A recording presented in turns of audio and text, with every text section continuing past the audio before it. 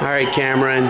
4 0 against Rocky Jordan. Yes, sir. Dominant match in the finals there. Never in any danger. Uh, all your matches were pretty dominant against Rocky, weren't they? Yeah, you know, um, to be honest, in, in, every match, I don't think he, he scored a point really. I mean, the only points he got was at Ironman. Uh, it was three to one, and and those were some stalling points, a stalling point, and then also at um, the holiday tournament. But at districts, it was a 5-0, and then at um, state tournament, it was 3-0. So got it done, was solid, just stayed in good position the match.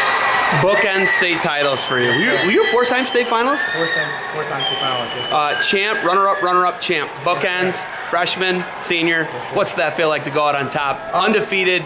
Oh. You know, ranked top 10 in the country. Feels great. Yeah. You know, it's it's surreal. I mean, to go undefeated. Um, coming into the season, I, I didn't I didn't plan on going undefeated. You know, I planned on wrestling one tournament at a time. Um, you know, I wrestled a good Ironman tournament. Was able to get a lot of confidence going into the regular season. Then once I was in the regular season, uh, everything started clicking. Um, you know, I was finally healthy this year. I mean, I don't know if many people know, but sophomore year, I tore my MCL three days before state, and then junior year, I missed a good more than half of the year because of my elbow. So I was finally healthy this season, and I think that um, my confidence was, was a big factor in my performance this year. Ohio University, Joel Greenlee. I talked to him right guy. before this. Yeah, I don't think you can beat Joel Greenlee as far as a guy, but why Ohio U? You know, you, you, you could have gone a lot of different places. Why not right. the Big Ten? Why Ohio U? You know, um, that's a good question. A lot of people ask me. A lot of people thought that I was going to go somewhere else for sure. They thought I was going to go uh, other places. But, you know, I, um, to be 100% honest with you, I could, you asked me a year ago, I, I never would have expected myself to be at Ohio University.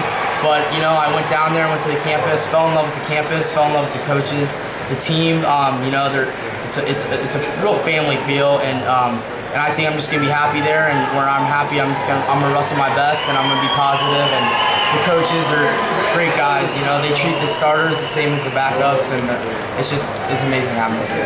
Uh, you know, a lot of these guys go undefeated as seniors, and then that's it. You listen, talk to Coach Greenlee? You know, talk to your family. Will we see you at any of the off-season stuff, or is this it? I'm getting oh, ready for college. Of course, you know, um, I don't, I don't know why a lot of people go they, they, end their senior season and they don't wrestle. I mean, you gotta constantly be getting better. I mean, I, my my career's not over, so I'm going into my freshman year. It's it's a new start, it's a new journey, and I, and I gotta start training tomorrow. You know, start lifting and stuff like that. But I'm gonna enjoy it right now. But then I'm gonna start training for the off season. Um, Probably, I'll do. I'll, I'll, be at Fargo, maybe junior nationals, but I'll be definitely on the freestyle scene for sure. Did you get a chance to talk to Coach Jordan at all? Did he say congratulations or anything to you? No, I, didn't to talk to him. You didn't talk to him. Uh, look. No words exchanged. Yes, you guys are from the same area. Did you train? Did you ever go to their camps or anything? Yeah, I, I was uh, I was a Jordan boy growing up. I've been going there since I was seven years old, and then um, you know sophomore year, some, some things went sideways, and I haven't been there since looking at uh, you know going into college next year. Look, you're pretty big. Looks like you could be a 41 pounder.